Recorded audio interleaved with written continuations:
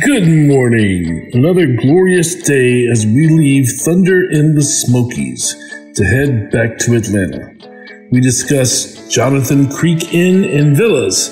Check out the Cannonball Run at Wheels Through Time. Swing by Smoky Mountain Harley Davidson and stop by Tallulah Gorge as we head back to Atlanta on today's Graybeard Biker.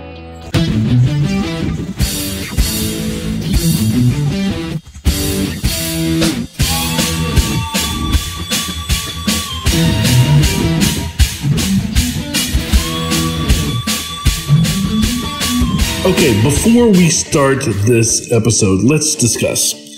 I have been called a curmudgeon. I don't deny it. Hell, we've made a t shirt for it.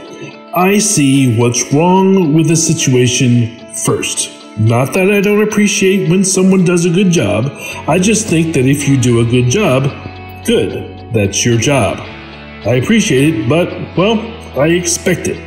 If you're not going to do a good job, don't do it at all. Just me? Let me know your thoughts on this in the comments. Now, I opened this way before today as I do a fourth review from this trip. Fifth, if you count the opinion I gave on Cherokee Harley Davidson. And one of these reviews is being called good.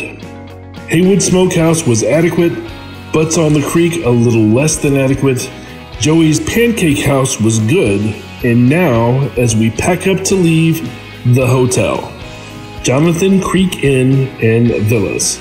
But I'm not gonna blow smoke. I give honest reviews with honest feedback. Okay, so the location of this hotel, motel, holiday inn was great, and it was packed accordingly. The rooms are simple, mountain, rustic decor. You can tell it's not a corporate chain, which is, I think is nice.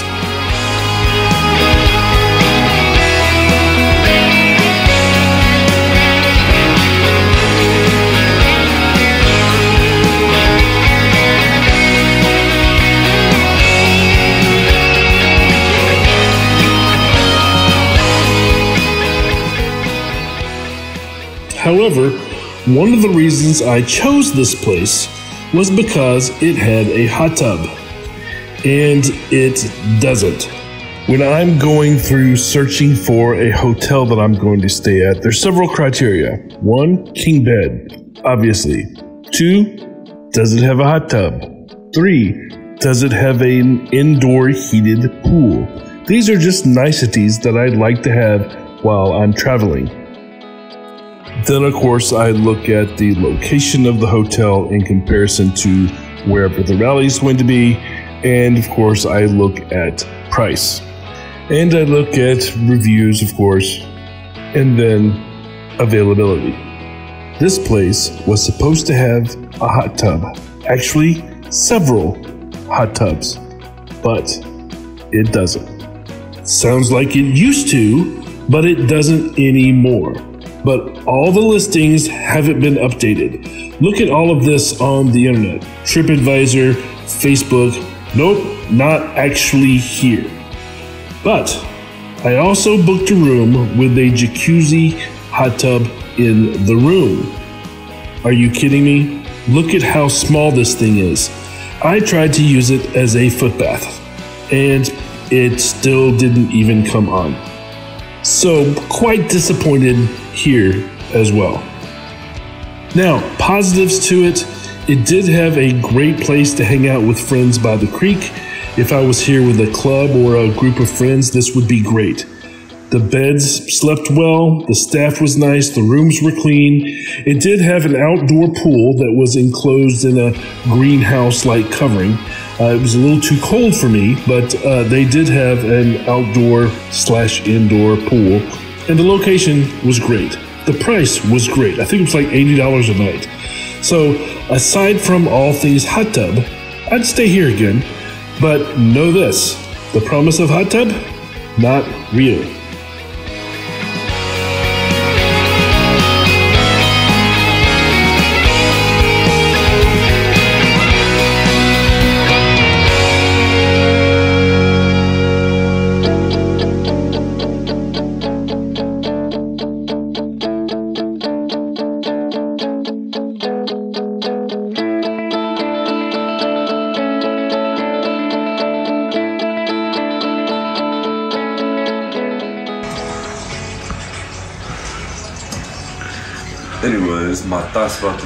I think it's nice. It's got a uh, little vibe to it, almost like a, almost like a cabin or something on the inside. Not quite yet.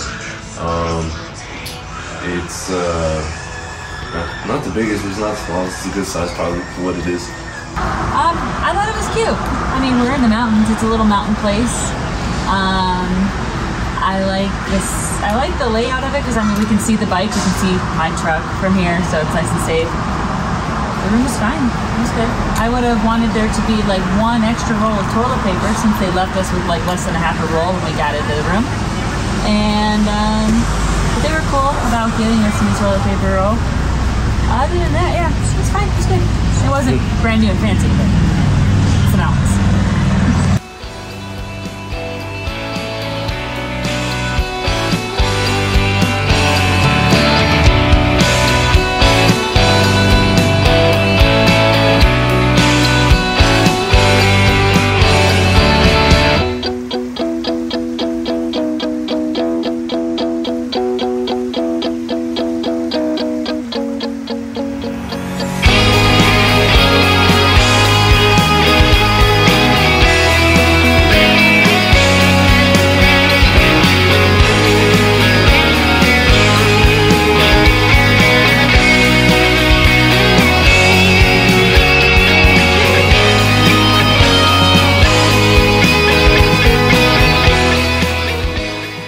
Next, we went back to Joey's Pancake House because I told my wife how good it was.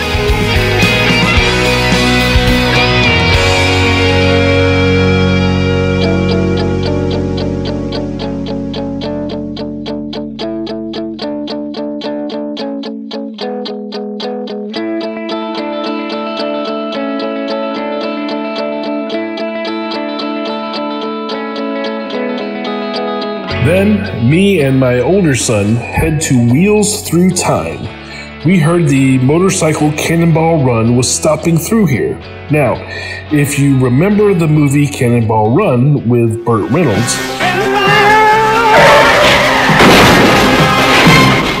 the Cannonball Run is an illegal race across the country from the East Coast to the West Coast. They have check ins along the way. The race is tracked via time and punch cards versus, you know, who crosses the finish line first. Everybody is going to get a card like this. When you leave, you're going to punch out here at this time clock. 3,000 miles roughly away from here is another time clock just like that at the Portofino Inn. The difference between the two times is your time across the country. The record stands at 32 hours and 51 minutes. Believe it or not, those guys did break the 55 mile an hour speed limit. Oh,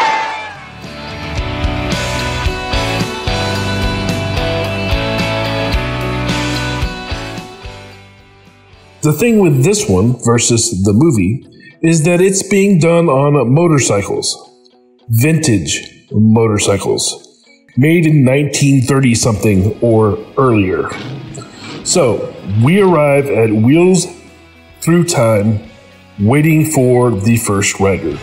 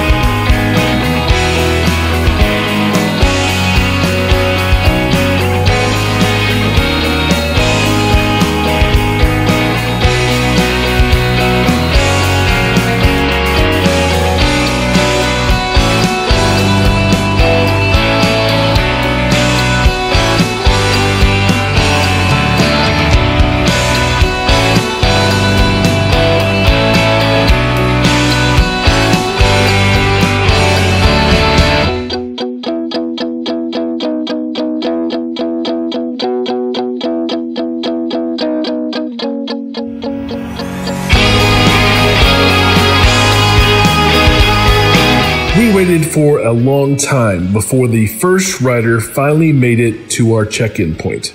Dun, dun, dun!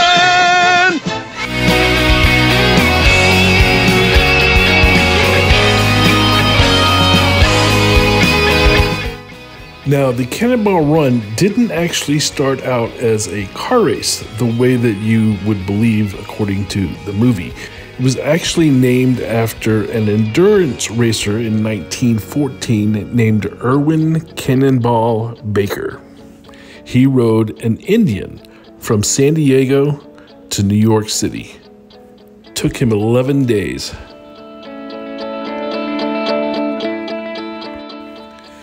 Now, the modern version of this motorcycle cannonball run was started in 2010 by Lonnie Isam the rules for the race have been adjusted to be points driven rather than time driven. He changed it from a speed race to an endurance race where the riders would gain points and follow a prescribed route with multiple rally points across the country. Wheels Through Time was one of the earlier rally points of the race.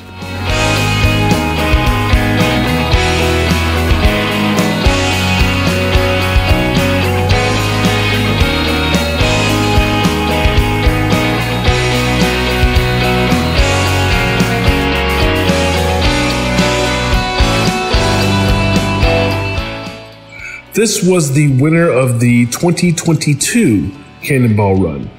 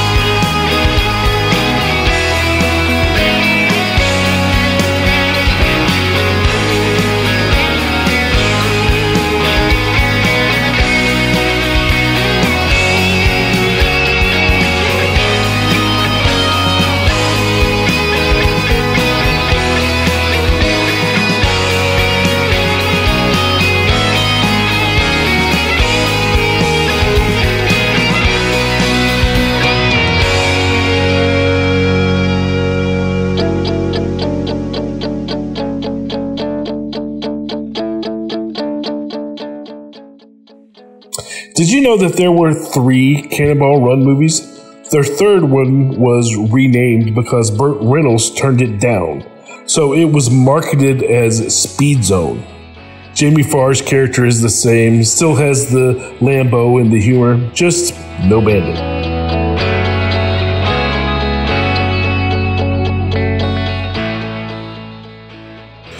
Now, it was marketed as Cannonball Run 3 Speed Zone in Japan. But somewhere along the way, it was also called Cannonball Fever, One for the Money, and Speed Zone Fever. I'm not sure about the whole story, haven't even seen the movie, but trivia. And all of them were based on Cannonball from 1976, which also has another name, Carquake.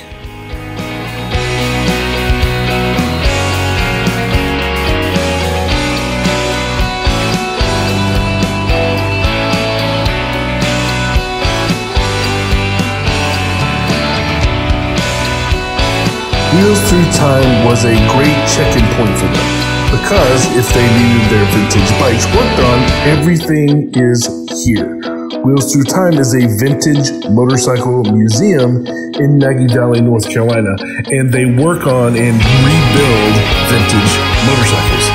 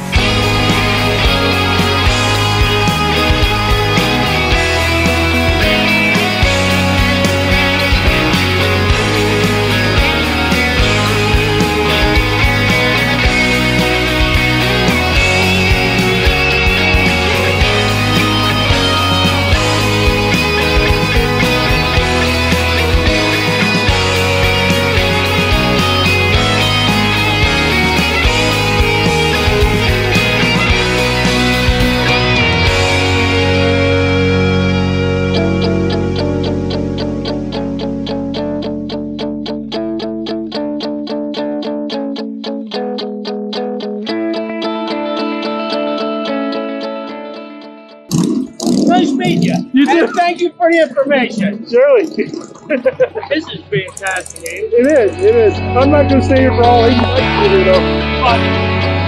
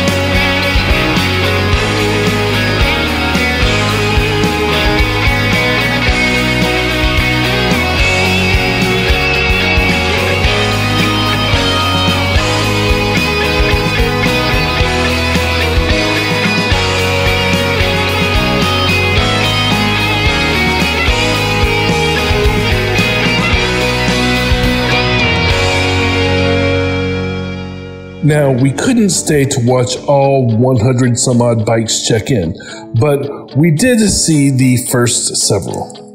Now, as we left, we ran into a couple of them on the road. We were cannonballers. Are you one of those volleyballers? Cannonballs.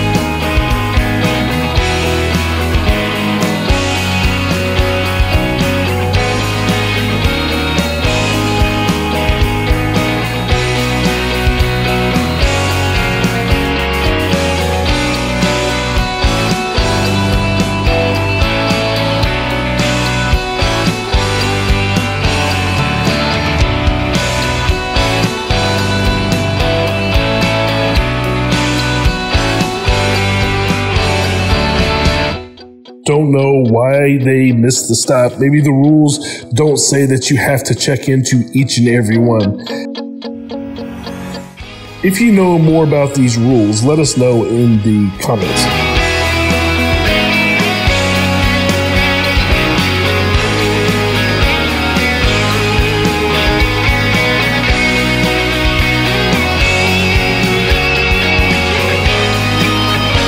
Then we headed to Smoky Mountain Harley Davidson in Bryson, North Carolina, as a stop on the way back to Atlanta.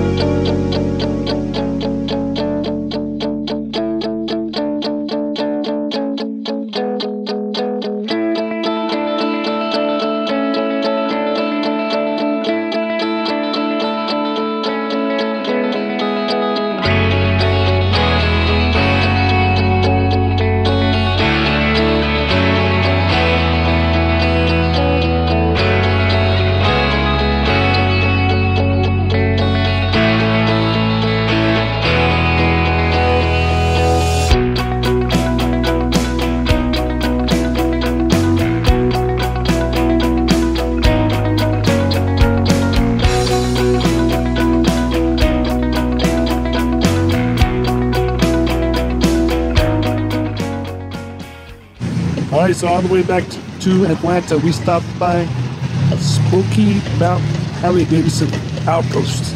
It's not a dealership, it is an outpost. So Smoky Mountain Harley Davidson, the dealership is elsewhere, and that's just their retail store. So we did get you.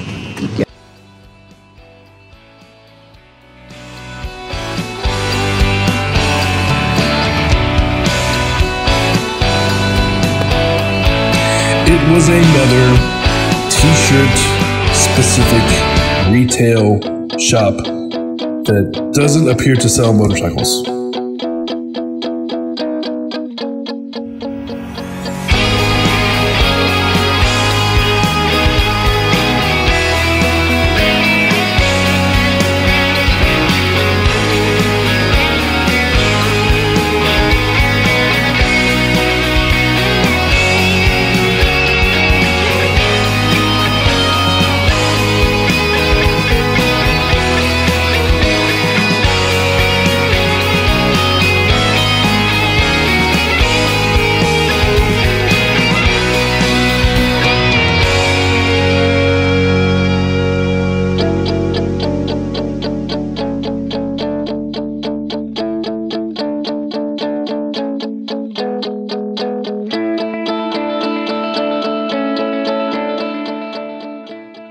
We got caught in the rain as we were going through the mountains.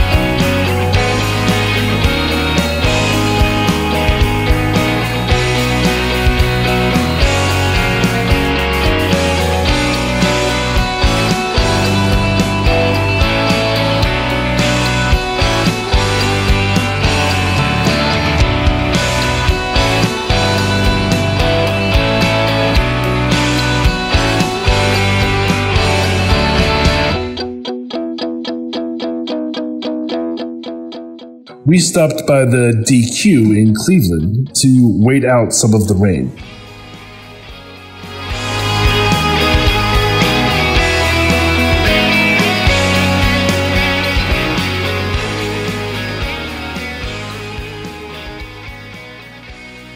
We then went by Tallulah Gorge before making the final run through moraine back into the Atlanta area.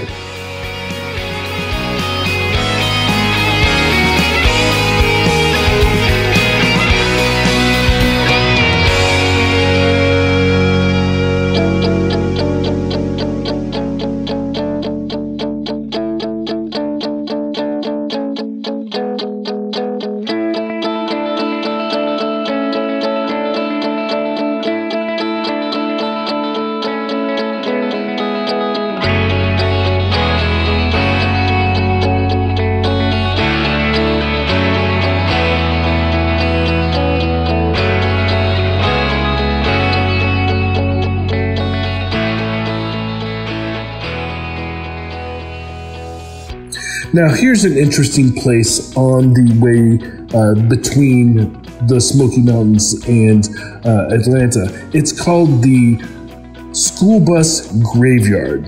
Interesting little side thing to see on the side of the road.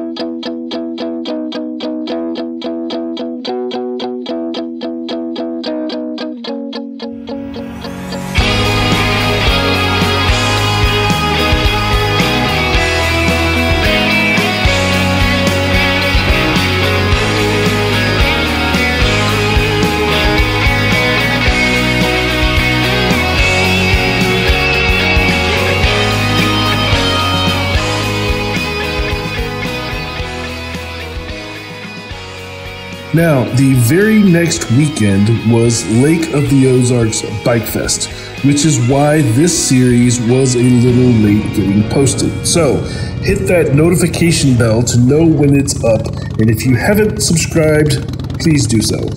And until then, stay free and keep it shiny side up.